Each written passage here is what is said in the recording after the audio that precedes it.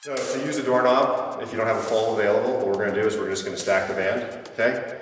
We're gonna take the band, we're gonna wrap it around the end of the doorknob, or end of the door, and then around the knob itself. Make sure the tension is even. For me, this is a kneeling position, and we're just gonna pull. Okay, everything else is the same.